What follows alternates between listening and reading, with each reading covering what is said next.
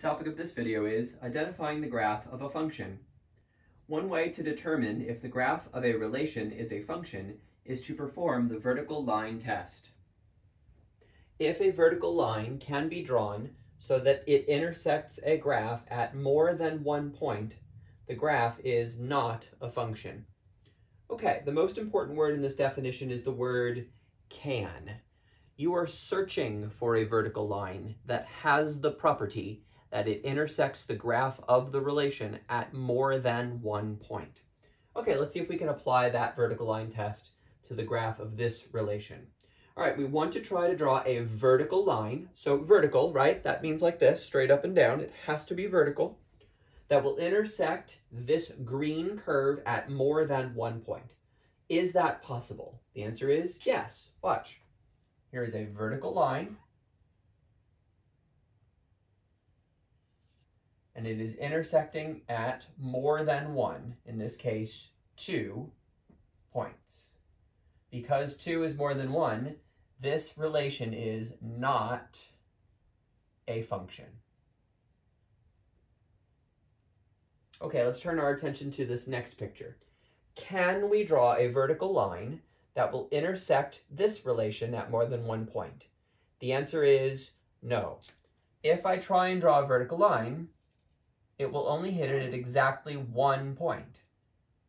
And no matter how many vertical lines I draw, each one is only going to hit the green curve at exactly one point.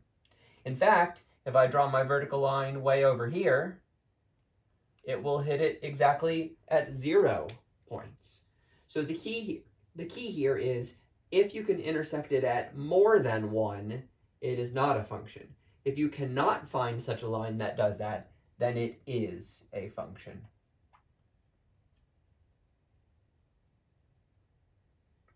Okay, next graph. Is this relation a function? The answer is no.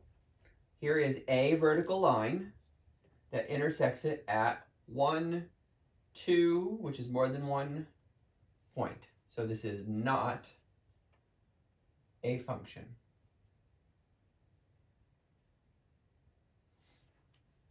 All right, and then our last graph is the most interesting one. This graph has a vertical asymptote sitting on top of the y-axis. Let's talk about what that means. A vertical asymptote is a vertical line that your green curve forever approaches but never reaches. So what that means is this curve is going up and left forever. The green curve will never be vertical because then it would no longer be approaching the blue line. The green curve will never bounce back and away because then it would no longer be approaching the blue line. It is always moving to the left and it is always moving up.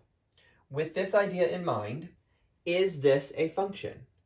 The answer is yes. If I draw a vertical line, it is only going to hit the curve, the green curve, in at most one point. And no matter how many vertical lines you draw, that will always be the case. And you might think to yourself, but wait a minute, what's going on really, really close to this blue line? Well, let's zoom in and see if we can figure out exactly what's going on there. If I were to create a zoom circle here and zoom in very, very tightly on this particular part of the graph, what I would see is my blue asymptotic line, my blue vertical line, and I would see my green curve getting closer and closer and closer to it, but not actually touching it or reaching it.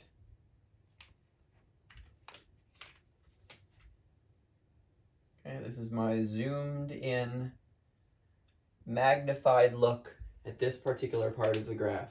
And if you try to intersect this with a vertical line, you're going to see that it does so at exactly one location. So the conclusion is this is a function.